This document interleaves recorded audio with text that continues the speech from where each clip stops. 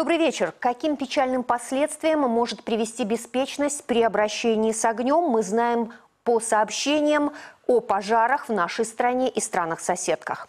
О том, насколько мы бдительны и подготовлены к чрезвычайным ситуациям, поговорим сегодня с нашим гостем. Присоединяйтесь.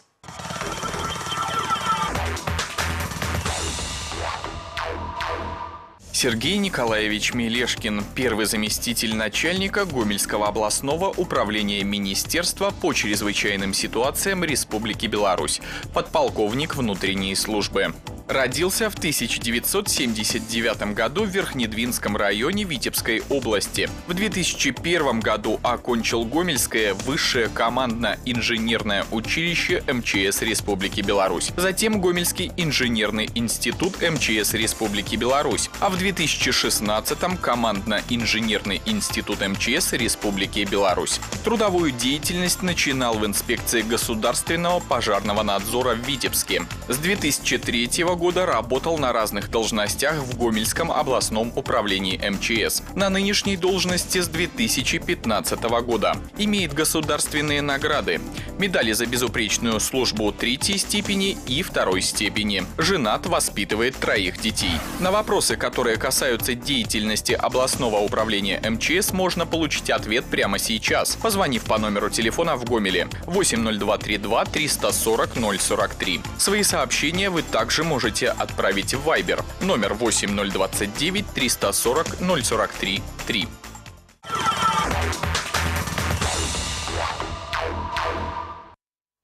Сергей, здравствуйте. Здравствуйте.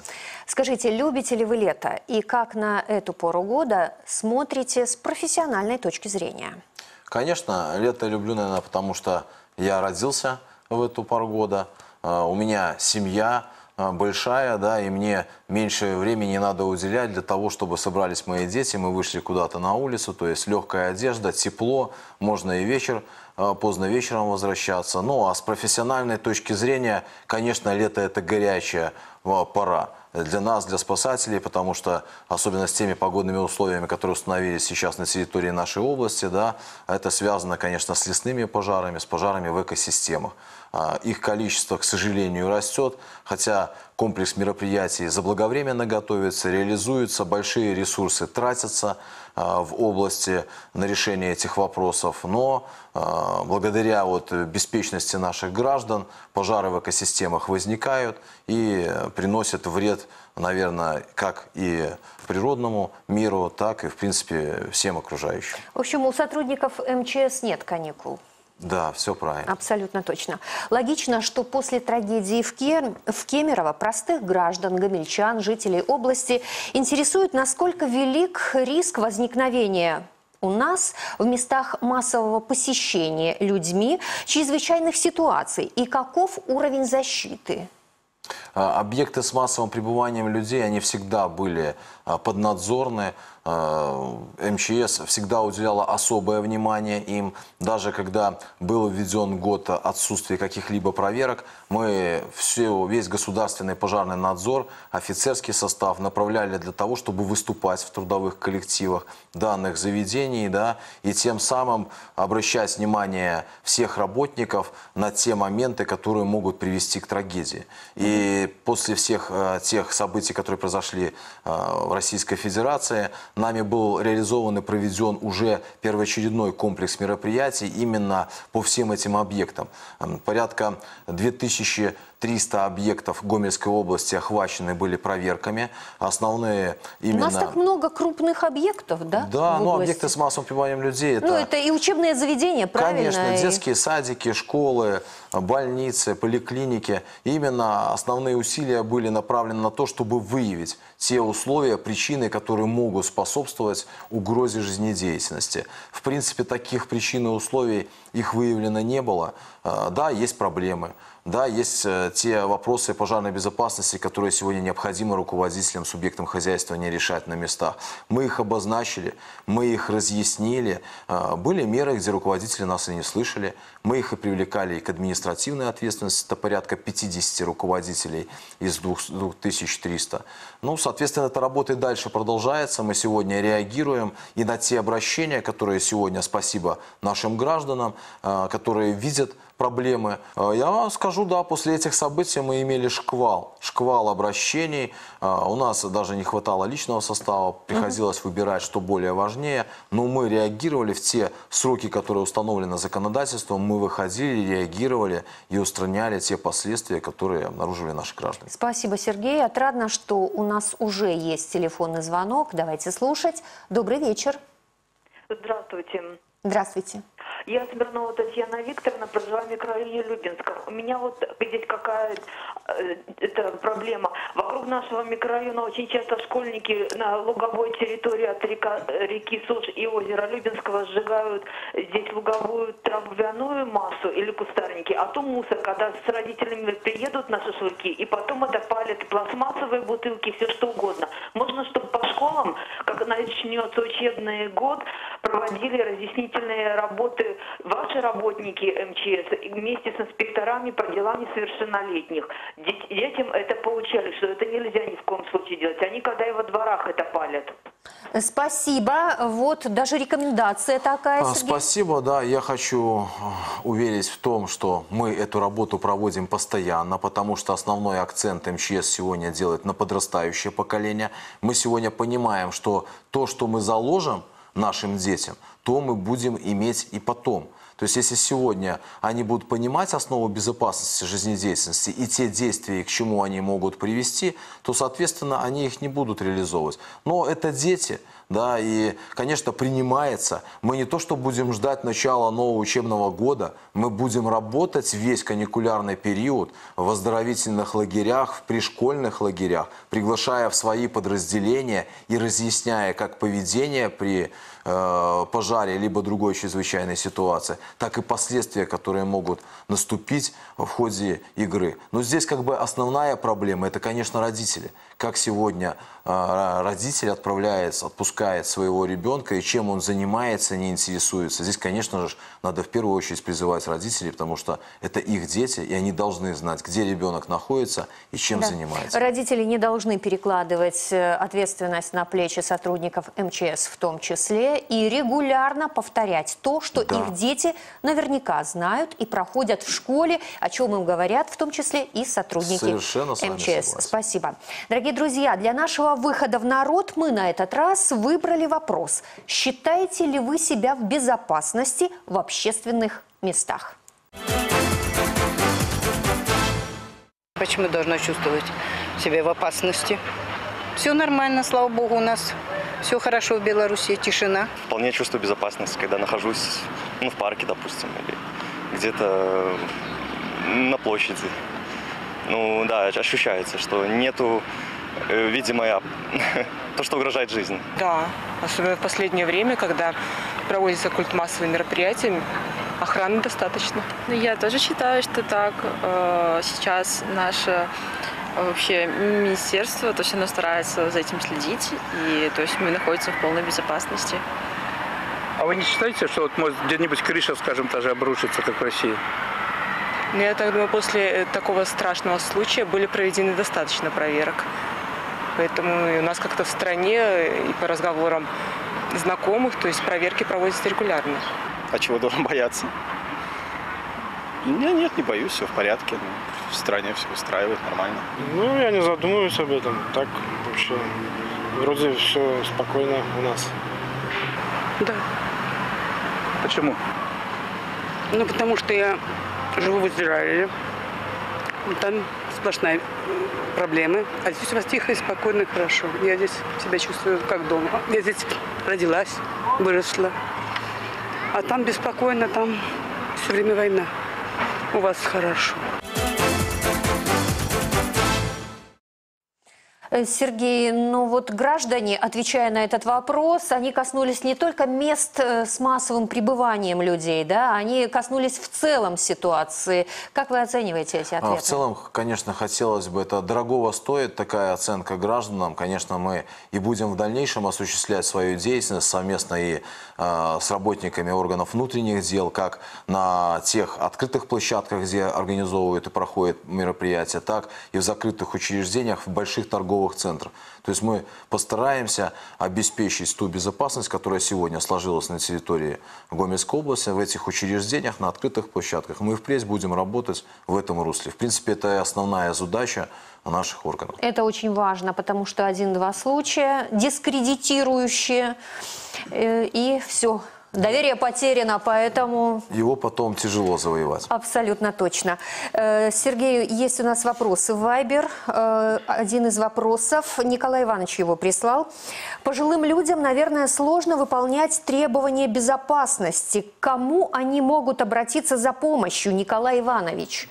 Э, Что имел в виду Николай Иванович, ну, трудно понять, но наверняка, может быть, в жилом доме, я так понимаю. Пожилым людям? Да, да. Конечно, однозначно, потом надо уточнить адрес, мы обратимся. У нас вообще на территории Гомельской области, как ни в какой э, иной области, у нас функционирует система так называемых смотровых комиссий, куда объединены все субъекты профилактики правонарушений. И основная э, задача этой смотровой комиссии, это чтобы выявить проблему а, в категории группы риска, к которым и относятся вот такие одиноко проживающие граждане преклонного возраста, многодетные семьи, семьи, находящиеся в социально опасном положении, вот, чтобы прийти, выявить проблему и оказать помощь этим гражданам. Конечно, здесь есть ряд социальных программ а, государственных, под которые выделяются средства, и эти средства могут направлены быть на э, те же самые устранения угроз жизнедеятельности гражданам. Сегодня, в принципе, этот гражданин, вы можете обратиться к нам э, по телефону 252 902. Мы однозначно выйдем э, вместе с комитетом по труду и социальной защиты, э, со всеми заинтересованными, изучим ту проблематику и, конечно, окажем помощь. А вот такой момент, если у этого пожилого человека есть дети, здесь не пе- переложат ответственность именно на детей, потому что иногда они бывают далеко, не всегда приезжают и так далее. Каждый, То есть никто не каждый откажет, да? случай, он индивидуален. Даже если есть дети, все моменты, они будут изучены. Потому что и дети сегодня, к сожалению, могут и не общаться со своими родителями, сожалению. которые находятся в преклонном возрасте. Здесь а, в полностью в совокупности изучается проблема, и вырабатывается и принимается решение все равно в пользу гражданина, конечно. Спасибо, Сергей. Следующий вопрос. Ну, мы уже слегка касались вот этих проверок, э, которые провели сотрудники МЧС в местах с массовым пребыванием людей. И вы говорили, что были некоторые проблемы. Так вот, какие именно и какие меры были приняты более подробно? Сегодня можно разделить проблемы на те, которые требуют затрат. Да? Это э, субъект хозяйствования взял, сделал перепланировку объекта, то есть э, поменял э, структуру этажа, э, стены, пути эвакуации. Да? И можно разделить еще на те проблемы, которые не требуют Ну, э, например, затрат. поменять замок или убрать... Не э, требует затрат, да, которые, в принципе, те события в Кемеровской области показали, что персонал, который должен был заниматься эвакуацией граждан, это их основная задача в случае возникновения пожара, а, то они должны были это выполнить. К сожалению, они этого не выполнили. Здесь даже те системы безопасности, которые были в здании, да, они эм, даже когда настиг, вы же видели, как там быстро распространялся Да. огонь, продукты горения, то, в принципе, когда даже достигла вопрос и система безопасности сработала, уже люди находились в ловушке. То есть э, те, тот персонал, который должен был знать и выполнять действия в случае пожара, он их не выполнил. У них сработал инстинкт самосохранения, и они, э, опасаясь за свою жизнь, просто покинули здание, оставив э, тех э, самых беззащитных э, граждан, это Которые, может малолетних быть, детей. даже и не знали о путях эвакуации. Малолетних детей, которые, в принципе, конечно, потеряны, и поэтому вот такая трагедия произошла. Но еще раз заострю внимание на том, что вот наши крупные торговые центры, и не только торговые, а развлекательные и так далее, э, вот с точки зрения пожарной безопасности, с точки зрения правильности путей эвакуации, как устроены? На сегодняшнем этапе, еще раз скажу, что сегодня все объекты с массовым пребыванием людей нами промониторены. На период мониторинга условий возникновения чрезвычайной ситуации выявлено не было. Пути эвакуации соответствуют требованиям. И э, повторные мониторинги проводятся путем даже, когда наши работники переодеваются в гражданскую одежду, выходят и смотрят. И мы для себя определились, что если мы уже субъекту хозяйства не объяснили, что нельзя загромождать, нельзя закрывать пути эвакуации, что персонал должен знать действия в случае пожара, то есть те мероприятия, которые в принципе в совокупности влияют на исключение каких-то тяжелых последствий, то мы будем сразу реагировать и принимать меры административного принуждения. Но если мы выявим факты перепланировки, э, отступления от проектной документации, то мы будем выходить э, через э, суд и ходатайствовать за запрещение эксплуатации объекта в целом. Понятно. Сергей, скажите, ну вот такой личный вопрос. Вы ходите в крупные торговые центры? Хватает у вас времени с семьей посещать развлекательные Да. крупные центры? Вы идете. Ну, понятно, что нельзя вот это профессионально никуда деть. Ну, вот вы идете, вы обращаете э, внимание просто как гражданин на пути эвакуации, вот куда можно в случае чего выйти. Советуете ли это делать гражданам, обычным гражданам, не сотрудникам МЧС? Конечно, любой гражданин, да, он, заходя в какое-либо учреждение, особенно если он там первый раз, он должен изучить, как он заходит, где находятся ближайшие пути эвакуации. Ну, вряд ли. Это, вот вы верите, что будут изучать. Мне кажется, обратить внимание, изучить нет. План вряд ли, правда?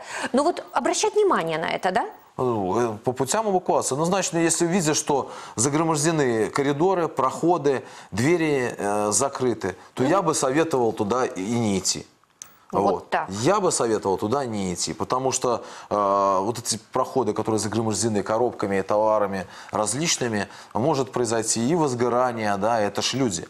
Тут человеческий фактор сыграть, соответственно, люди будут отрезаны огнем. То есть э, субъект хозяйствования не соблюдает меры безопасности, здесь надо информировать нас. Игнорируем Инф- такой торговый объект. Да, и самое большое наказание для них – это отсутствие, Отсутствие покупателей. покупателей, Это точно. самое большое наказание. Абсолютно точно. Кстати, вот по итогам проверок, вот эта замечательная вещь э, была предпринята э, министерством, да, была создана интерактивная карта на которую были нанесены проверенные объекты. Навести стрелочку, вот она сейчас, кстати, Да. на нашем экране, навести стрелочку на интересующий тебя объект, и ты поймешь, какие нарушения Да. существуют в этом торговом или развлекательном или учебном заведении. Кстати, информация по Гомельской области полная. Это на сегодняшнем этапе все четко отслеживается, потому что установлены сроки, определены нарушения, они есть на карте, и сам субъект хозяйствования, некоторые они понимают это, видят, что сегодня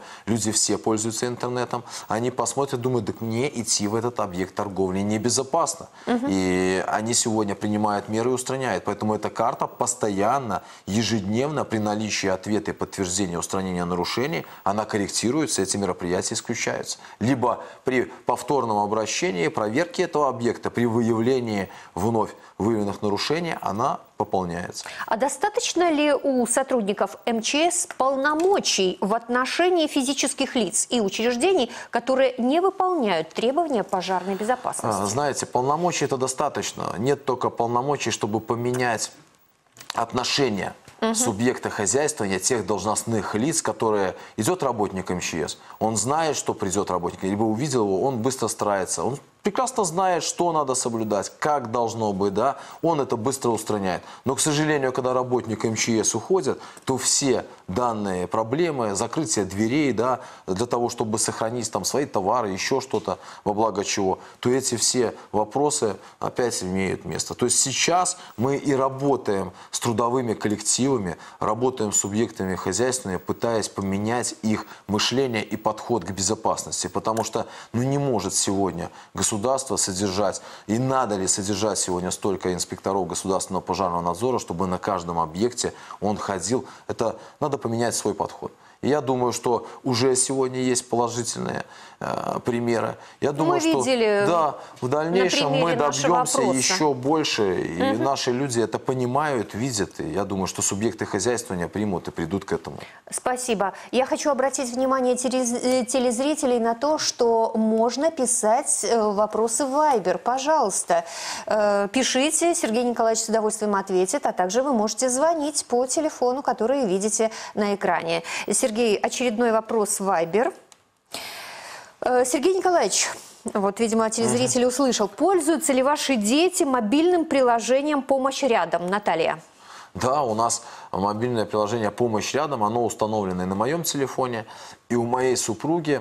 И у меня, к сожалению, только два телефона у детей. Маленькая еще, я ей не разрешаю иметь телефон. У них установлено мобильное приложение «Помощь рядом». И я периодически, играя с ними, показываю, там есть и тесты в шутливой форме. Мы разбираем некоторые ситуации, в том числе и просматривая сегодня мультики, которые МЧС снимает. «Волшебная книга». Да, и там, что хотелось бы отметить, там вот эти вот э, мультяшные киногерои, сегодня наша фабрика их выпускает, и они поступили в продажу. И люди сегодня могут посмотреть, потом приобрести своему ребенку. Ребенок уже в играх будет реализовывать те навыки и знания, полученные от просмотра этих И решать задачки, фильмов. поставленные Всё в ситуациях. правильно, правильно? правильно. Полезное приложение, полезные мультики. Кстати, о детях, Сергей Николаевич. Э, Наверняка многие родители сейчас задаются вопросом, насколько безопасны те оздоровительные лагеря, э, в которые мы отправляем своих детей. Как проходит в этом направлении работа? А, Здесь особый подход всегда. Это на уровне а, Гомельского областного исполнительного комитета начинается эта работа еще до того, когда наступают каникулы. Принимается решение, определяются те все э, заведения, их порядка больше 500, есть э, круглогодичные 10 заведений. То есть определяются все службы, которые будут осуществлять деятельность, в том числе и наши подразделения. Мы осуществляем проверку, выступаем, работаем с коллективами, отрабатываем с ними действия в случае пожара. И все эти мероприятия до того, как открывается непосредственно смена в лагере, они уже все реализованы. И потом уже в ходе даже э, эксплуатации самого лагеря мы приезжаем, работаем как с детьми, так и с персоналом, выявляя и смотря, есть ли какие-то условия, которые могут привести к чрезвычайной ситуации, чтобы еще раз убедиться в том, что наши дети, им там безопасно. Спасибо. Сергей, есть у нас вопрос. Давайте слушать телезрителя. Здравствуйте. Добрый день, Э, Как вас зовут? Сергей. Сергей, для удобства. Э, Ваш вопрос, пожалуйста. После трагедии в Кемерово были проверены э, многие торговые объекты э, и города Гомеля в том числе. Но меня удивляет, почему не обращается внимание на наши э, торговые объекты на рынках. Центральном, Прудковском, Старый аэродром. Ведь все проходы заставлены настолько товаром и всем этим, что в случае чрезвычайной ситуации там невозможно будет ни эвакуация, ни бегство людей, ничего. Вот почему на это не обращается внимание? Мгм. Ну, если, спасибо, Сергей, если брать аэродром, э, рынок, то там, скорее всего, все-таки на открытом воздухе, там помещения, хотя есть небольшие помещения. Нет, здесь правильный вопрос. Я сам Спасибо. часто бываю на рынке, да, и вижу, вот как Давыдовский, Прудковский, да, центральные, особенно эти вещевые, потому что каждый продавец, он хочет, чтобы у него купили, он хочет заработать, да, и он использует любое пространство, чтобы вывесить свою вещь, для того, чтобы покупатель увидел ее и подошел именно к нему. И тем самым они те проходы, которые существующие, да, они их заужают.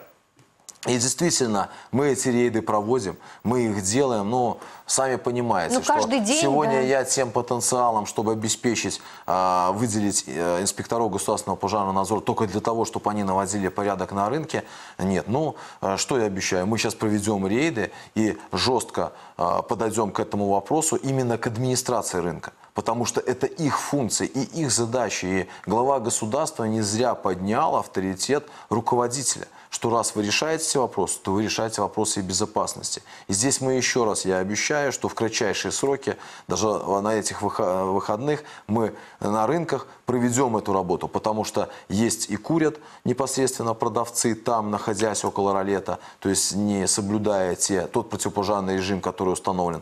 Э, Этот вопрос, конечно, принимается, и буквально в ближайшие дни мы еще раз проведем работу на рынках и с администрациями рынков, я думаю, этот вопрос закроем, Э, что противопожарный режим улучшится в части освобождения проходов, ну, я обещаю.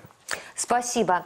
Э, наша съемочная группа побывала в Центре пропаганды Гомельского областного управления МЧС и готова рассказать о работе, которую сотрудники ведомства проводят с населением.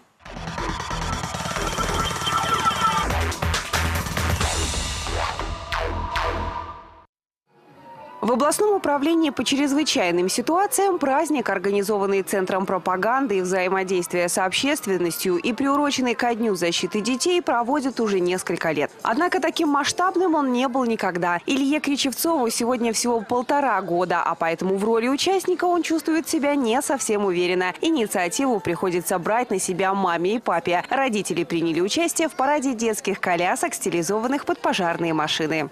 Только с помощью папы нам все это удалось реализовать. Э, когда сказали, что это машина будущего МЧС, нам сразу э, пришла идея, что это будет межгалактическое, что-то межпланетное. Ну вот МАП мы поэтому и называемся. Межпланетный аппарат пожаротушения. Что делать, если в сковороде загорелось масло? Как собрать ртуть из разбившегося градусника? По какому номеру телефона позвонить спасателям? Это только на первый взгляд кажется, что мы знаем все. В чрезвычайной ситуации нужна предельная концентрация. Очень увлекательное занятие, и обязательно надо попробовать все-таки пройти это. Да, это очень полезно, потому что и дети, и взрослые должны знать, что делать в экстренных каких-то ситуациях. Поэтому это очень, очень полезно, да. Пускай и дети, и взрослые приходят почаще на такие мероприятия, участвуют. Это очень здорово, весело и полезно. Для Центра пропаганды и взаимодействия с общественностью Гомельского областного управления МЧС «Квест-игры» – часть профилактической работы с населением. Сегодня это вообще, пожалуй, самый эффективный способ донести до людей, казалось бы, простую истину. Наша безопасность в первую очередь зависит от нас самих. Мы начали использовать такую форму работы, как квест-игры. А, когда выезжаем в сельскую местность, привлекаем вот пожилых людей, э, детей, да и вообще различную категорию э, людей, э, чтобы через игру, через практику они попробовали для себя как они смогут действовать в чрезвычайных ситуациях. Допустим, вызов пожарной службы. Очень сложно для наших граждан, потому что многие очень забывают в панике, забывают номер телефона, поэтому еще раз хотим через игру напомнить им. Дальше. Очень часто происходит такая чрезвычайная ситуация, как э, разбили градусник. Как действовать? Как собрать ртуть? Куда обратиться? Насколько пары э, опасны ртути? Смогут ли дети научить взрослых правилам противопожарной безопасности? Вопрос далеко не риторический. Однако на них сегодня значительные надежды. Если родители часто считают себя знающими все, то у детей такой уверенности нет. В Гомельском центре пропаганды и взаимодействия с общественностью убеждены, профилактику нужно начинать практически с младенческого возраста или, в крайнем случае, с возраста воспитанников детских садов. С ними мы проводим игровые программы и показываем, демонстрируем, знакомим их с мультфильмом «Волшебная книга». Далее идут школьники. Со школьниками это проведение занятий, викторин, бесед и также тематические фильмы. Студенты – это ситуационные задачи, решение их и различные ситуации. Тоже мы используем такую форму, как проведение ток-шоу, где можно высказать свое мнение и поделиться проблемными вопросами. Сегодня в Центре пропаганды и взаимодействия с общественностью Гомельского областного управления МЧС завершается создание музея пожарной службы. Если судить по тем экспонатам, увидеть которые пока могут только сотрудники МЧС и журналисты, это будет действительно уникальная выставка, подтверждающая уже известную аксиому – без спасателей никак нельзя. Далеко не все гомельчане знают, что в результате пожара 1856 года в городе сгорело 540 дворов. Почти половина существует существовавших тогда построек. Пожарная команда с одним ручным насосом и двумя бочками воды сделать ничего не смогла. Сегодня в Гомельской области насчитывается около трех тысяч спасателей, в том числе около 800 в Гомеле. В эту же статистику можно включить три аварийно-спасательных отряда, дислоцированных в Гомеле, Речице и Мозыре, что, впрочем, никак не отменяет необходимости профилактической работы, в том числе в Музее Центра пропаганды и взаимодействия с общественностью областного управления МЧС. ЕС. У нас будет интерактивная такая площадка, где а, с помощью таких технических средств человек будет попадать в реальные чрезвычайные ситуации. И а, будет ну, применять различные средства пожаротушения там, для тушения, например, лесного э, пожара, да, или там загорелась трава, и он интерактивно будет что-то делать для того, чтобы потушить эту траву. Или, например, находясь дома, загорелся телевизор, он интерактивно попадает в эту среду и будет приступать к тушению пожара там, из-за телевизора, спасения людей и так далее. То есть вот такое продумывается у нас интерактивные площадки.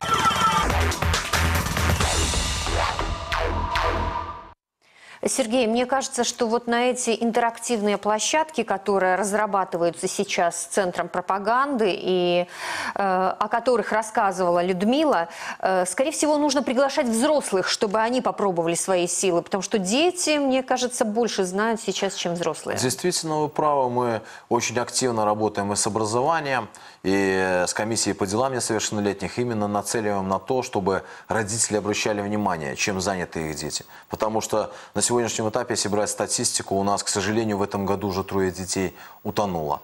А, Вот. А результат один – оставление их одних. То есть родители не уделяют должного внимания своим детям, оставляют одних, и здесь сразу трагедия. Но есть надежда на то, что вот те, де- эм, те дети, э, когда вырастут, Да. уже своим детям будут уделять должное внимание. Я хотела бы обратиться к теме пожаров. Скажите, пожалуйста, какова статистика по пожарам в Гомельской области по сравнению с аналогичным периодом минувшего года? Э, Если брать статистику пожаров э, на территории Гомельской области, э, она в целом складывается успешно. У нас идет снижение. У нас 274 пожара произошло в текущем году против 281 в прошлом. Если сравнивать с другими областями, то я скажу так. Гомельская область единственная область, где наблюдается снижение Снижение. пожаров и снижение погибших от них людей. То есть у нас этот показатель, как и на 10 тысяч населения, он лучший по снижению, чем все другие области. Как вы этого добиваетесь? Сегодня это благодаря э, общему подходу. Сегодня именно э, Гомельский областной исполнительный комитет, он четко понимает необходимость э, сохранения э, жизни людей, которые должны приносить пользу государству, экономике, да, создавать семьи, растить людей. Это гибель людей от внешних причин. И сегодня именно он задает темп, и все субъекты профилактики правонарушений, они сегодня работают, ну, можно сказать, даже на грани своих возможностей. Благодаря этому у нас сложились такие цифры э, по гибели, вот если брать пожары как внешнюю причину, у нас, э, если наверное, 10 лет назад погибало порядка за год э, 200 человек, то за прошедший год 2017 62. Но это тоже большая цифра, и мы здесь работаем, чтобы эта цифра стремилась, конечно, к нулю. Сергей, сейчас тезисно. Основные причины, приводящие к пожарам в жилых домах. К сожалению, сколько мы не работаем с гражданами, это неосторожное обращение с огнем. Условием нахождения в состоянии алкогольного опьянения. Либо немощность. Это преклонный гражданин преклонного возраста, который обращается с огнем, получает соответствующую травму и смертельный исход.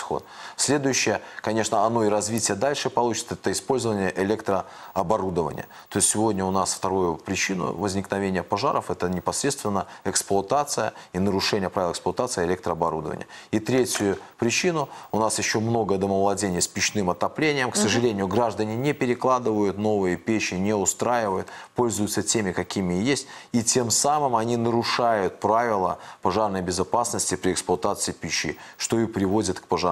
Вот три основные причины, на которые мы сегодня уделяем внимание и работаем с ними. Сергей, но мой вопрос такой, но есть же еще и территории общего пользования. И мне же вторит телезритель.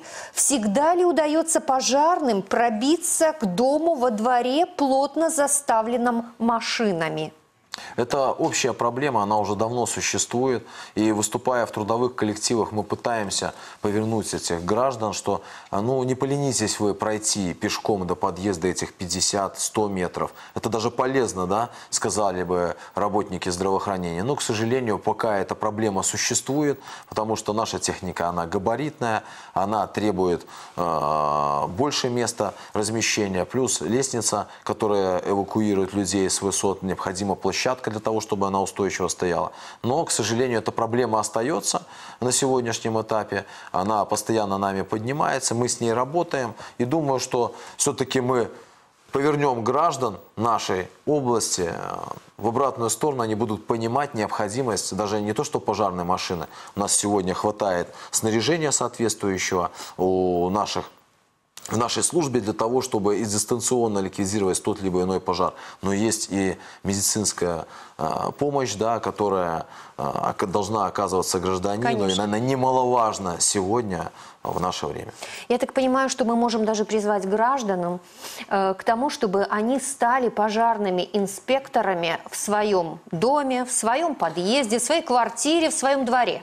Это правильно, потому что если брать в целом, то раньше еще в царские времена, если был пожар, то пожар был во всей деревне. Вся деревня от мала до велика бежали, и каждый чем-то занимался. У каждого было распределено, чем в случае пожара он будет заниматься. Кто-то носить воду, кто-то э, помогать расчищать дорогу, чтобы там э, поводья э, лошадь или еще что-то организовали. То сегодня, к сожалению, мы от наших граждан, приезжая и выезжая на пожар, видим только что. То, что они расставили свою технику, автомобили оставили, видим только то, что они пытаются заснять картину, картинку, да, эффектную, ту, которую они Да, видят, на мобильный телефон, да, и выложить, соответственно, в сети. Сергей, еще есть один вопрос такой по поводу э, стройматериала. Вот скажите, сейчас очень много строительных магазинов и разные материалы продаются, например, для облицовки стен. Э, Вот меня интересует, сотрудники МЧС, они как-то отслеживают качество э, ну, того товара, который привозится, насколько он огнеупорный, насколько можно его использовать? У нас есть технический регламент, который четко регламентирует применение в строительстве э, того либо иного вида материала, который должен подтверждаться протоколами испытаний. Конечно, мы отслеживаем. Мы отслеживаем при организации проверки мониторингов объектов строительства, даже тех же самых рынков, да, вот, э, а также мы сегодня выдаем заключение о соответствии объекта строительства, реконструкции либо капитального ремонта. И Мгм. поверьте мне, если мы выдаем положительное заключение, то все материалы, которые применены на объекте, они соответствуют тем требованиям, которые предъявляются непосредственно к этому объекту. Спасибо. Сергей, город э, Гомель город немалый. И наверняка у пожарно-спасательного отряда областного центра есть своя специфика. В чем она состоит тезисно? Это как э, спецназ. Понимаете, это постоянно действующий организм, который в любую ситуацию автономно может осуществлять свою деятельность. И деятельность у них очень широка. Как спасение на воде, под водой, так и разбор конструкций зданий, сооружений. То есть у них стоит специальная техника, которая именно может выдвинуться в любую точку нашей области и осуществлять свою деятельность. Кинологи.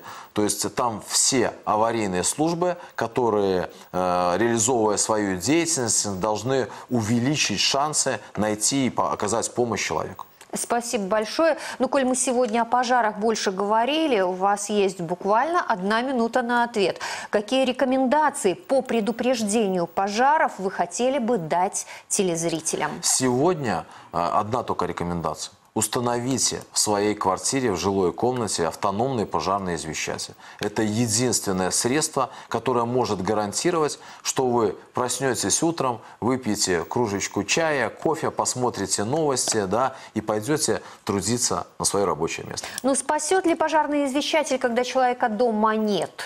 А здесь, здесь доме. речь идет о спасении жизни, а не о спасении материальных ценностей. Спасибо. Ну что ж, э, Сергей Николаевич, я благодарю вас за то, что вы приняли участие в этой программе. Благодарю, что ответили на все вопросы наших телезрителей. Ну а телезрителей благодарю за активную жизненную позицию. Дорогие друзья, это был диалог с первым заместителем начальника Гомельского областного управления МЧС Сергеем Мелешкиным. Берегите себя, пусть у вас все будет хорошо.